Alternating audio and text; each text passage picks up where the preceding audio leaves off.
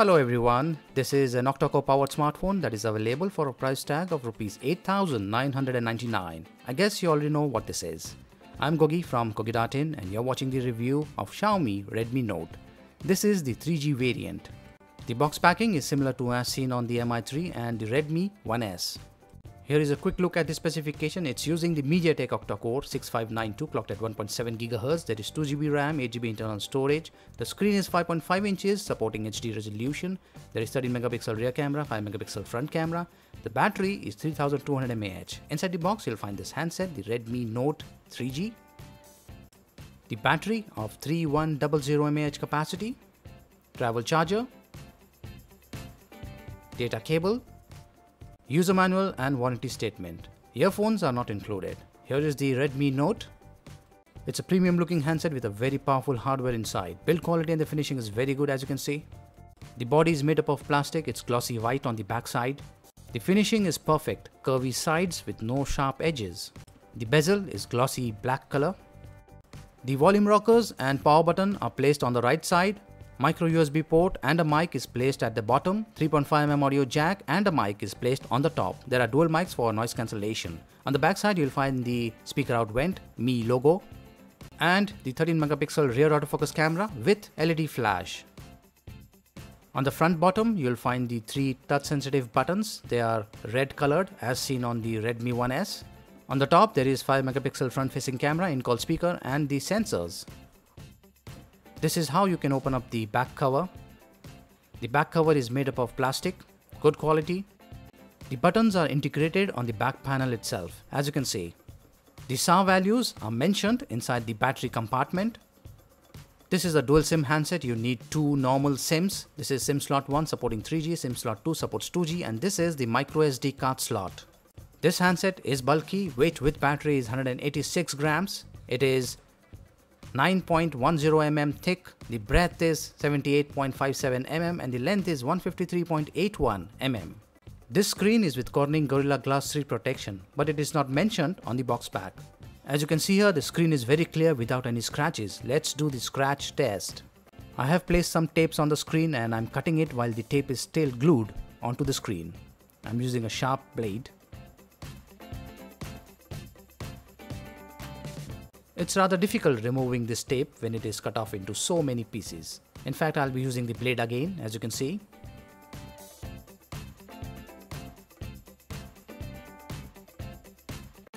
Okay, it's clean now and what you see here are the sticky residue left by the tape.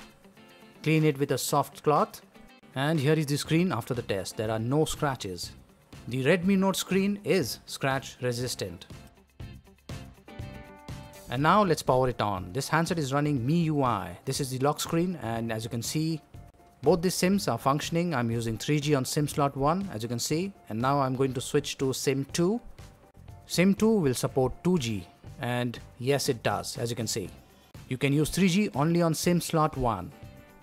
Here is the MIUI interface. The touch is very smooth and responsive.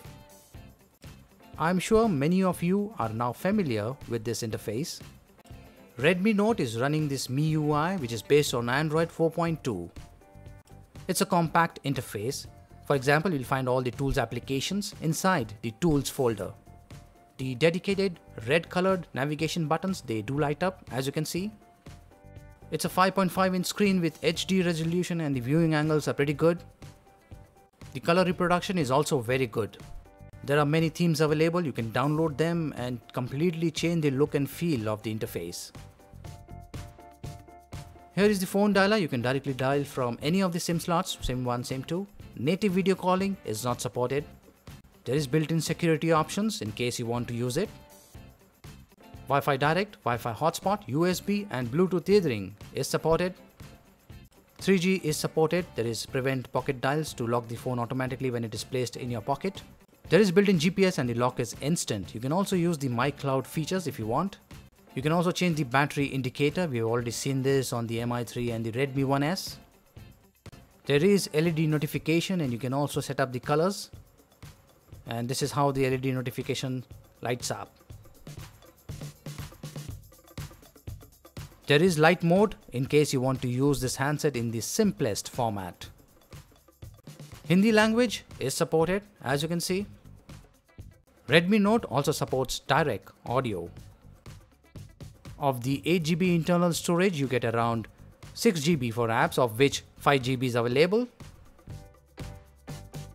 There is 2GB RAM and you get around 1.2GB free on the first boot. There was a MIUI update available and I have updated it to the latest version. I have connected an external OTG pen drive and yes, OTG does work. There is no option to install the apps on the external storage. I have downloaded Asphalt 8 and as you can see it got installed on the internal storage and there is no option to move to external storage. There is one more interesting thing I found when you tap on any application you get an option to enable floating windows. I don't know what it does and there is no application that will be using this feature. Probably it's in the experimental stage. It could probably be something similar to what we have seen on the Samsung Galaxy Note 4. Resizing and moving the window. Let's check out the system information. It's using the MediaTek MT6592 octa-core processor clocked at 1.7 GHz with Mali 450 MP GPU. This handset is running Android 4.2.2 the screen size is 5.5 inches. It's mentioned as 4.59 inches here. It's incorrect. It's actually 5.5 inches supporting 1280 by 720 pixels resolution. And here are the sensors accelerometer proximity light, gyro and magnetic. The time is 10.45, battery at 85% and the temperature at 33 degrees. Quadrant benchmark score is 16066, Antutu score is 32712, Vellamo Metal 878, multi-core 1517, browser 2085.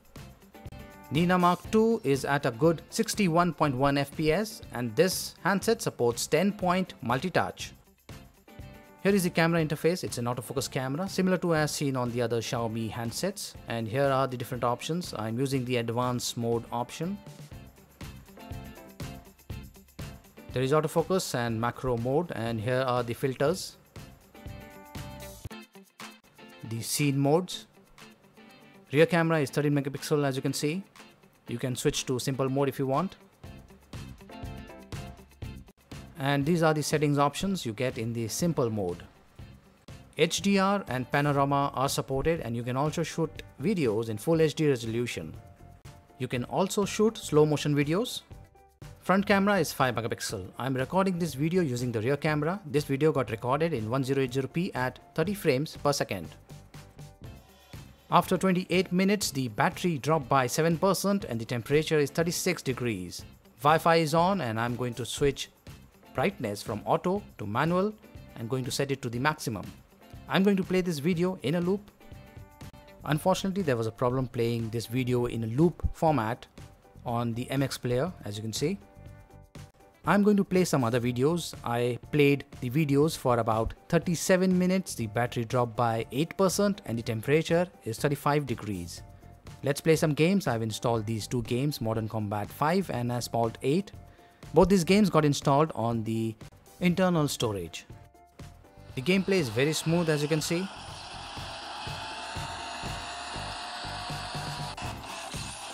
There is a very mild lag if you have noticed, but the game is still pretty much playable. Let's move on to Modern Combat 5. This game also did very well. The graphics looks really good on the Redmi Note and the gaming response and the controls are pretty smooth.